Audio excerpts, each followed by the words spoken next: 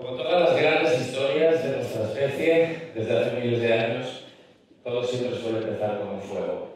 Y voy a intentar hacerlo como lo hacían los prehistóricos, con tuétano, sílex, magnesio, pirita y una lámpara de piedra. Así que vamos allá.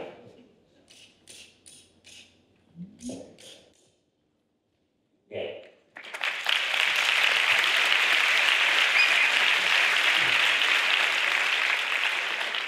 Así que da comienzo nuestra, nuestra historia.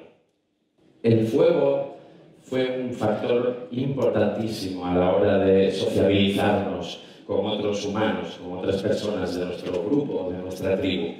¿Os imagináis la diferencia entre tener que irnos a la cama o a la cueva a las 5 de la tarde o poder prolongar esas horas, varias horas hasta las 10, 11, 12 de la noche y poder compartir con los otros miembros de tu tribu, de tu, de tu grupo, el poder eh, transmitirnos conocimientos, técnicas nuevas sobre cómo, por ejemplo, eh, cazar un ciervo, cómo tallar mejor piedras como estas, como estos bifaces que tengo aquí con, con nosotros esta, esta tarde. ¿Os imagináis el, el grupo eh, cómo ganó en sociabilidad al tener que reunirse alrededor de un mismo punto, de un mismo fuego?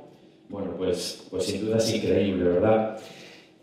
Entonces, si sabemos que la, eh, los, nuestros antepasados más cercanos, los primeros Homo sapiens, eh, fueron unos eh, primates, unos eh, animales muy cooperativos y muy solidarios los unos con los otros, ¿cómo es que hemos pasado de, de esa realidad a una interpretación de la naturaleza basada en la agresividad y la violencia?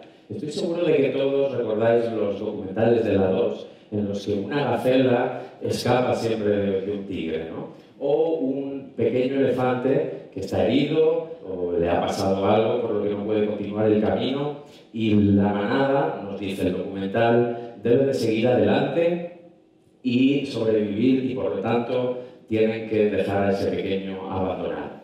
Bueno, pues todas estas ideas, todas estas... Eh, modelos mentales que se basan en que la agresividad es lo que nos ha hecho humanos, que la violencia ha sido un motor de la historia, comenzamos a descubrir que no es cierto. Aseveraciones como la ley del más fuerte o eh, solo sobreviven los más eh, fuertes o esto de el todos contra todos, ¿verdad? Que estas frases os suenan y son muy recurrentes en, en nuestra sociedad. Bueno, pues todo esto eh, existe, es verdad, no se trata de negar el conflicto y la violencia, pero son solo una pequeña parte de la historia. Bueno, Jane Goodall, eh, con, quien he tenido la oportunidad de conversar varias veces, me lo ha recordado en muchas ocasiones. Me decía, Pablo, no pienses en, en la guerra y en la violencia como la característica fundamental de los primates y de los seres humanos por supuesto que existe, pero nos hemos olvidado de una gran cantidad de, de comportamientos sociales como el altruismo, la cooperación, la generosidad, el auxilio, que forman parte de lo más profundo de nuestro ADN. Para poder poner esto a prueba, una manera, un método, es compararnos con otros animales y ver si chimpancés y bonobos, con quienes compartimos un 98% del ADN, también presentan estas características. Me acuerdo que Eduard Rousset, cuando pasaba tardes con él en su masía de Gerona, me decía, Pablo, nunca lo olvides, todo empezó con una historia de amor y cooperación.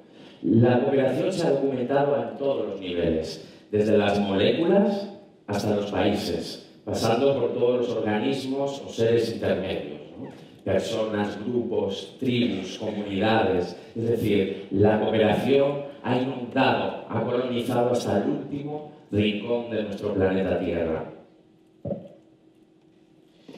Bueno, pues vamos a echar un vistazo a la cooperación y el altruismo en otros animales y así poder sacar algunas conclusiones sobre lo que somos, o de lo que somos capaces. En este experimento se ponen unas losas de, cemento de manera que un chimpancé solo no puede acceder a la recompensa que está debajo. Necesita la ayuda de otra persona. Vamos a ver qué es lo que pasa.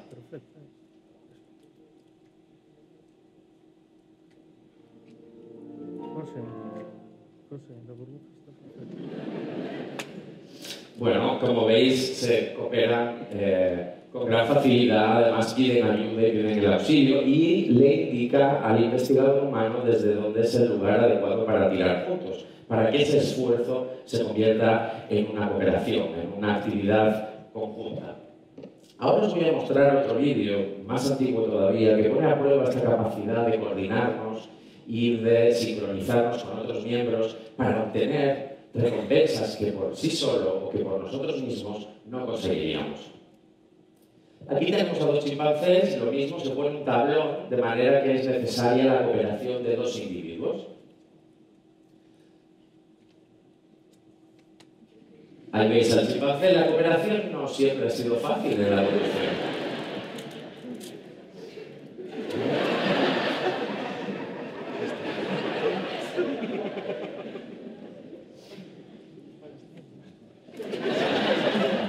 Bueno, veis, tira se sincronizan y finalmente consiguen la recompensa mayor. Pero claro, muchos se estarán preguntando, ¿y qué pasa con los humanos? Dice, sí, claro, los animales a lo mejor son unos seres maravillosos, pero ¿qué pasa con nosotros? ¿Somos altruistas? ¿Somos cooperativos? Bueno, pues para ponerlo a prueba lo que hicimos fue enfrentar a los niños a situaciones en las que un adulto necesitaba ayuda y no podíamos darle al niño ningún tipo de orden ni de consigna no se le podía mirar. Ayudar al niño de manera espontánea.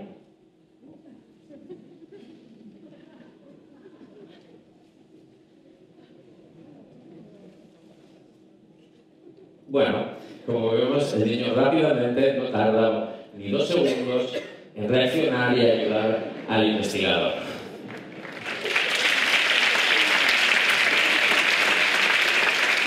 En esta otra prueba es lo mismo. Un investigador se le cae una cuchara a la caja y no sabe desde dónde cogerla. El niño sí lo ve. Y le da. Bueno, como para los científicos eh, nunca hay suficientes pruebas, en el programa Redes replicamos estos experimentos con idénticos resultados positivos. Aquí me vais a ver a mí eh, haciendo como que se me cae una pinza al suelo mientras tiendo la ropa y vamos a ver qué pasa con estos niños.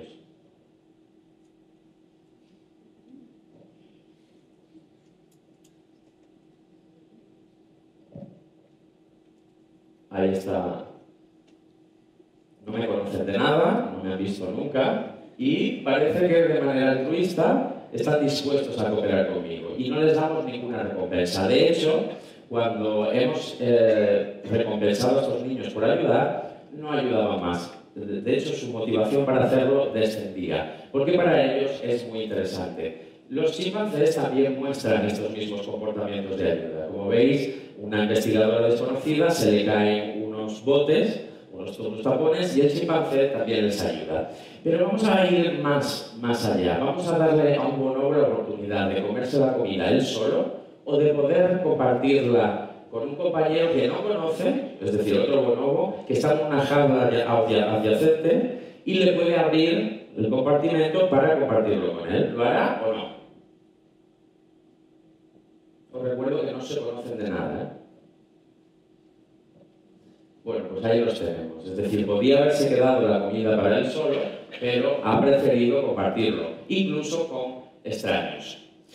Muchos no lo saben, pero estamos diseñados para cooperar, pero no aquí solo en el cerebro, sino también en el cuerpo. Existen eh, adaptaciones anatómicas en el ser humano que nos permiten cooperar o que nos han facilitado mucho la cooperación, como por ejemplo la esclerótica humana. La esclerótica es la parte blanca de los ojos y gracias a ella podemos saber dónde están mirando otros compañeros, nos pueden señalar un objetivo común o quizás un peligro ¿Os imagináis lo valioso que es este tipo de comunicación en ausencia de lenguaje? Cuando los primeros humanos no sabían hablar todavía, el poder indicar con la mirada un peligro o un alimento pudo ser fundamental. Pero también señalar con el dedo. Ningún otro primate eh, entiende cuando uno señala con el dedo. Los que sí lo entienden, gracias a una historia de amor con más de 20.000 años de antigüedad, son nuestros perros precisamente por toda esa evolución, por todo ese historial de evolución compartida, ellos sí entienden la mirada y donde señalamos con el dedo. Debo confesar que estoy en la reserva militar con Cabrero, porque eh, decidí no hacer el servicio militar y apuntarme en la objeción de conciencia como pastor de cabras. Nunca he disfrutado más viendo la conexión que existe entre los humanos y estos perros que nos acompañan desde hace 20.000 años. Yo le señalaba con el dedo un lugar, le señalaba la mirada una cabra y ahí iba el perro corriendo a reunirla, ¿no? y a recuperarla, a, a mantener la unidad y la cohesión del rebaño. Pero ¿qué pasa con los, por ejemplo, con los valores?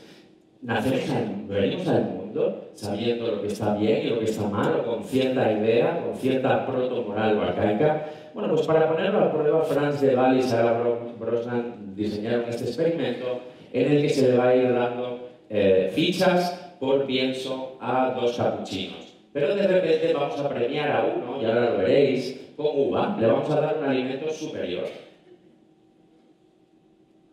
Aquí está el premiado o el favorecido con una uva y aquí viene el perjudicado con el pienso. Fijaros que hasta ese momento lo había aceptado. ¿eh? Pero al ver a un compañero recibir una recompensa mayor por el mismo esfuerzo, se niega.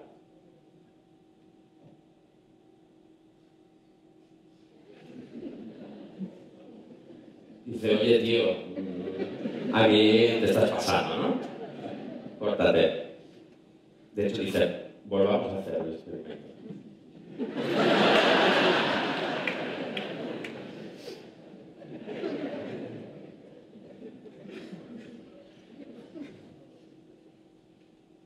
Ahí lo tenemos de nuevo, la ficha en la mano.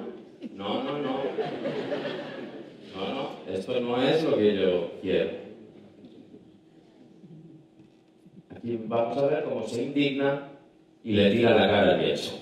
Bueno, desde este punto de vista, a mí me parece muy esperanzador parecernos a los animales. Fijaros esta diferencia que siempre ha hecho la Iglesia entre los humanos y el resto de los animales por no poseer alma, algo que ni siquiera sabemos lo que es todavía, al menos desde el punto de vista científico. Por eso me parece que es tan, tan eh, importante conocer eh, el comportamiento de otros primates, porque cuando encontramos una misma característica en humanos y otros mm, primates cercanos a nosotros, hay muchas probabilidades de que el ancestro común de todos, que vivió hace 4 millones de años, ya poseyera esta característica. Es decir, que somos los descendientes de unos homínidos especialmente cooperativos, que encontraron en la colaboración y en la creatividad, en la imaginación con la mente, el éxito, es decir, la manera de colonizar latitudes en el planeta que hasta ese momento no habían sido posibles. Convivimos en algunos lugares con hombres de Neandertal y con hombres eh, con Homo erectus en, en China. ¿Por qué ellos desaparecieron y nosotros no? Bueno, pues la hipótesis más aceptada es que nosotros colaborábamos de una manera muy estrecha.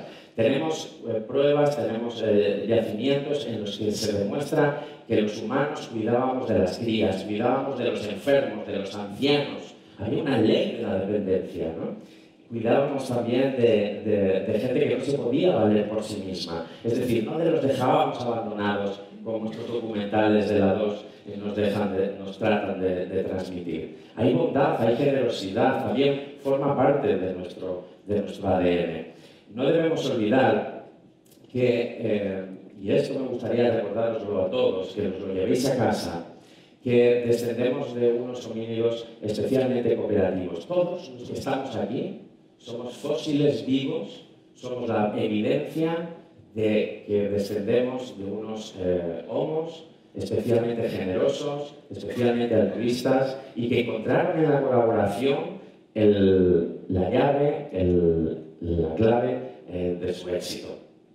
Por lo tanto, aseveraciones como la ley del más fuerte, la ley de la selva, no son para nada aceptables en el día de hoy. Por eso os animo a que por favor saquéis el primate que todos lleváis dentro, que saquéis ese mono, porque al fin y al cabo, vosotros, nosotros, yo, todos somos monos. Muchas gracias.